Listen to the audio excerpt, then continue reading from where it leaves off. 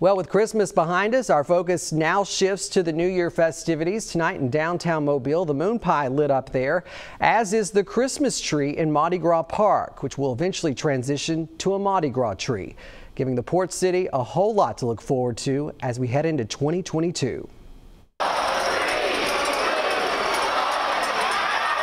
As the port city gears up to say goodbye to 2021, they're looking forward to the first New Year's Eve party in downtown since the pandemic began. In less than a week, Trombone Shorty and the Orleans Avenue will help us usher in 2022, the giant moon pie standing by ready to drop. With a new year, Mardi Gras is set to make a return to the port city. To say revelers are ready is an understatement. Despite the rain, the Lending Tree Bowl parade earlier this month, giving them a taste of all the Mardi Gras fun. It was rainy, but you know, you can tell had a real good turnout turnout around the uh, parade route, and a lot of people were happy to be here. And in the city, born to celebrate, who could forget the success of Tardy Gras? We miss Mardi Gras.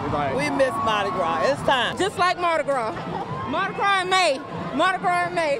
That could become a thing. Yes, yes. We here tonight.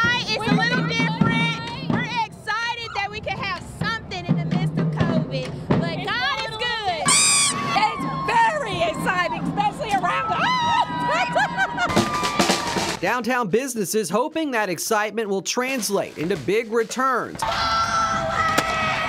as the crowds, which normally bring in hundreds of thousands of people every year, will spend money on what's sure to be an unforgettable celebration like the port city hasn't seen in a very long time.